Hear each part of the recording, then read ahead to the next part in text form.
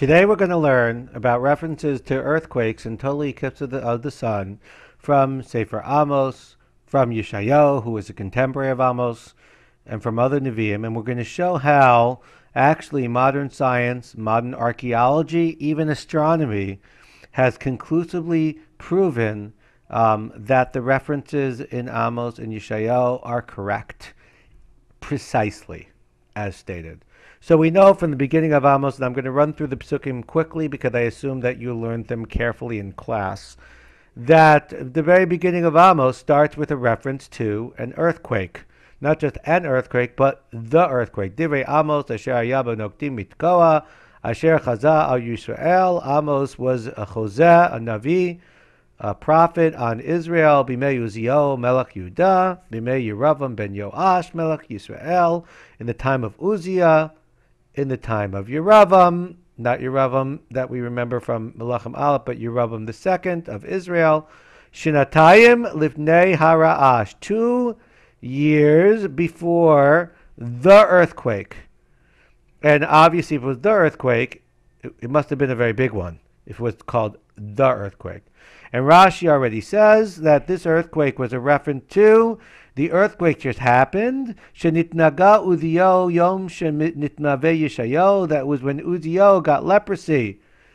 As Yeshayo in Parak Vav in chapter 6 gave a nivu'ah and as also a reference from Zechariah as well, from Yeshayahu, Vayanu, Amota Tzifim, Uzziah got leprosy because he went into the Beit Mikdash. He was the king. He wanted to also be the Kohen Gadol, and so he went to bring the Ketoret. And at the moment he did the sacrilege of bringing the Ketoret in the Beit Mikdash, the house shook. Vayanu, Amota Tzifim, the pillars shaked and quaked, and this created a world actually not worldwide, but an Israel wide catastrophe, a horrible earthquake that was so bad that some 500 plus years later, Zechariah, who is a much later prophet, references this when he talks about the end of days. He said there'll be an earthquake, kasher nastam mibnei ra'ash, like the earthquake that happened at the time of Uzziah, and we see this in Zechariah, v'natam ge'arai, ki agia ge'arim, the mountains will shake. Kasher nastam mipnei Uziel, because of the earthquake at the time of Uziel. In other words, the earthquake was so bad that all you need to, to say 500 years later was the earthquake, and we knew with earthquake it was referring to. It was referring to the one at the time of Amos, at the time of Yeshayahu, which happened in both Israel and Yehuda as a result of Uzziel Melech Yehuda bringing the Ketoret in the Beit Mikdash. And Divrei Yom tells the story about how Uzziel became a Gevalev, he became arrogant, and he brought the Ketoret. And when he brought the Ketoret, it says that Uzziel um, got Tzarat at that time, by Uzziel Mitara ad Yom Tarat into his death. So that was the personal punishment for Uzziel. And so if you fill in the the, the pieces, Divrei Torah Anim b'makom achad v'ashirim b'makom acher, often the words of Torah are poor in one place and rich somewhere else. So you can't get a full picture unless you reference all the verses. Not only did Uzziel get leprosy, as it's stated in Divrei Yamim, but as well there was a horrible earthquake, as it's stated both in Amos and as it's stated furthermore in Yeshayahu, and as it's referenced as well in Zechariah. And here are just some more references to it. Um, Yeshayahu, Parak Vav, Bishnat Mota Melech Uziel, when Uziel died, which Rashi says wasn't that he really died, but he got Tzarat, leprosy, and that it says at that moment, in that great vision, which you're going to learn later in the year, of the Malachim in the Beit Mikdash, Karazel Zavamar, Kadosh, Kadosh, Kadosh, Hashem Tzavakot, it says, Vayanu Amot Atzifim, Mikola Karei, that the house shook, the Beit Mikdash actually shook and was full of smoke as a result of this earthquake. Amos as as well. Once you know that there was this horrible earthquake, then you understand lots of Amos, because Amos over and over again references times that there's going to be some type of shaking. P, like for example, it says ubakati al mizbechot beit el. I will give. Uh, I will pay back for the altar in Beit nigdu karnot midbeach naflu aretz. The horns in the midbeach will be uprooted and fall to the ground. Sounds like An earthquake would destroy an altar. V'yiketi beta choref al beta kayit v'abdu bate ashen. I will destroy your summer homes and your winter homes, your winter homes and your summer homes, and your your homes that are made of ivory. V'safu batim harbi rabim. Many houses will be lost. So it sounds like an earthquake, and not only an earthquake, but an earthquake that's so big that it went throughout Israel because both their summer homes were affected and their winter homes, which obviously geographically were in different places. And then in Amos Perak Dalad as well, it says, "V'hafakti bachem k'mafekat elokim et I will overturn you like Sodom and Gomorrah, etc., etc once again seeming to reference an earthquake. But do we have any evidence, extra biblical evidence, evidence from the world of archaeology or science of the earthquake? And the, and the answer is actually we have almost incontrovertible evidence. Yigal Yadin, who was a very famous archaeologist, he was the one who also dug up Masada. So he dug up Chatzor, which was a city of that time. And it describes how, and I'll show you in the next chart, how he saw that in one stratum, stratum is an area, they do archaeology by measuring layers because that's how they can date things based on the pottery in those layer, layers. So in stratum 6, which is dated to the first half of the 8th century, that means from the year 800 to 750 BCE, which exactly matches the time of Amos. He found, and this is a drawing because he couldn't show it after he dug it up, he found a tilt. Everything was tilting downwards in stratum 6 in Chatzor. And so this is a reference to the earthquake. That's what would cause everything to tilt. And not only did he find it in Chatzor, but as it's mentioned here, he found it in a number of other different places, not just in Chatzor, but in other places. You can look them all up if you reference the following link, which I'll open up momentarily. So here's the page on the earthquake in the time of Uziel from Wikipedia, um, but it actually references an article that's from a peer-reviewed review, journal, the International Geology Review, which is a peer-reviewed scientific journal, and it mentioned the work of Yigal Yadin and other archaeologists in Israel, and they describe how debris at six sites, Chatzor, which we showed, Deir Alla, Gezer, Lachish, Tel Yudah, and Ein Chatzeva, is tightly confined stratigraphically to the middle of the 8th century with dating errors of 30 years.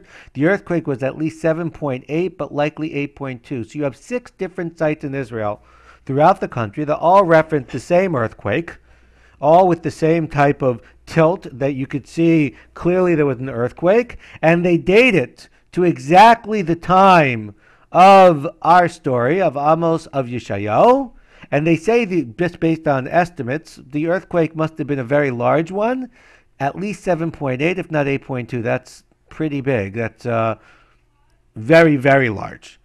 Um, this severe geologic ge- disaster has been linked historically to the speech delivered at Beit El by the shepherd Amos of Tekoa.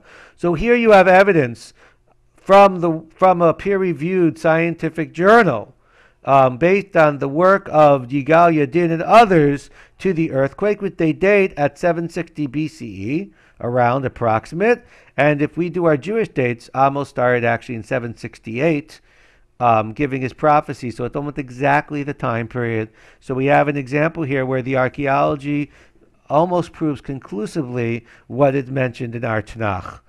Now, just moving right along, we're going to go to a continued reference not to an earthquake, but another event that talked about over and over again, both in Amos and Yeshayahu, which is a solar eclipse. So once again, we have an event, and it says. I will bring out the sun. I will make the sun go out in the afternoon. Or the land will become dark in the middle of the day. So it seemed to be that suddenly there'll be darkness. Now you could say this is theoretical, this is metaphorical, it doesn't mean literally, but if you see many, many sources to the same idea, then you start to wonder maybe it was true. Look at chapter 4. Oser shachar efo. I make the morning into darkness. So once again, another reference to day, morning becoming darkness. And then in Amos chapter 5, Osa Kimi Ixiel, Amos is saying, Why do you worship Orion and Pleiad, the constellations? God made these constellations. Vahofek Luboker Tzal Mavet. And he turned the morning into the shadow of death, which is shadow, which is darkness. V'yom l'layla hekshich. The day becomes a dark at night. And then later on he says, You're looking for the Yom Hashem, the day of the Lord, the day of judgment. Halo choshech Yom Hashem v'lo, or the day of judgment, the day of darkness and not light. And then once again Yeshayahu as well. He talks about Chashach Hashemesh b'seito v'yareach lo yagia or. The sun's going to become darkness. And even our reference that we saw from Zechariah says, Vaya b'yomahu lo or. It won't be light on that day like the time of Amos. So it seems to be a reference to a solar eclipse. Now, do we have evidence to this? So this is not. This is something actually we have evidence both in archaeology and astronomy. First of all, a total eclipse of the sun, just to see what it looks like. This is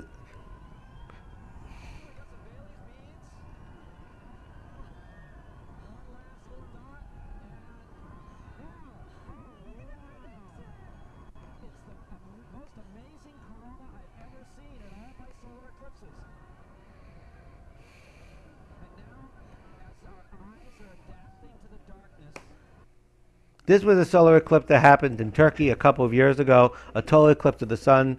Total solar eclipses are not very common. They're common in, in the world. They happen once every three or four years. But to be in a specific location when an eclipse happens, maybe happens once every thousand years, a total eclipse. You can have partial eclipses, but a total eclipse where the sun is completely covered by the moon are very rare events. Nowadays, we can predict them with astronomy. Back then, there was no way for them to predict it.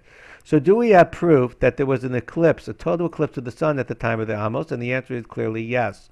Look over here. For example, we have something called um, from the Assyrian, the Assyrian eponym list, which is like an Assyrian history book, and it talks about a total eclipse of the sun, Bur-Sagale Abguzana revolt in the city of Ashur in the month of Simanu, that's the month of Sivan, an eclipse of the sun.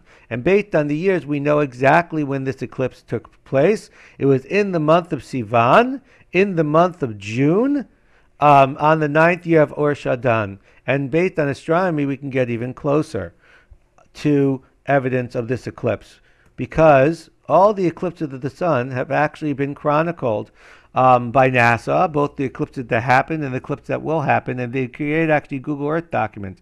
And this is a Google document, sorry, a Google Earth, yeah, file for the eclipse of the sun that happened at this time period, at the time of Amos, I think a little bit later, 722 BC, a total eclipse. This is the area of the total eclipse. These are partial or almost total eclipses.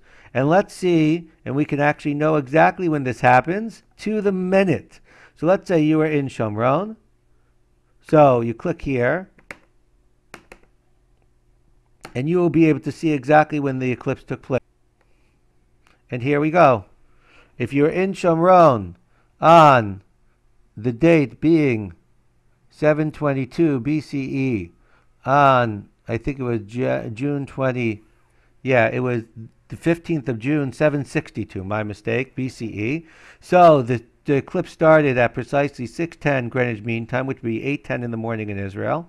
It was at a height at 9:27 a.m. and 58 seconds, and then it ended at 8:54, which is really now 10:54. So between 8 a.m. and 10 a.m. in Israel at 762 BCE, June 15th, we have the exact moment of the eclipse, which at its height in Israel was 90% eclipse for all intents and purposes to the people it looked like a total eclipse and even more interestingly since amos is referencing often the predictions about the impending disaster from ashur where was the total eclipse of the sun a complete eclipse was over Assyria, as we saw from the Assyrian eponym list as well. So here we have, if you ever have a trivia question, what is the one event in Tanakh that we have scientific verification of when it took place to the second? You can enter the total eclipse of the sun in the time of Amos, which happened on June 15th, 762 BCE, and happened precisely at 9:28 a.m. 23 seconds over Israel. Thank you very much.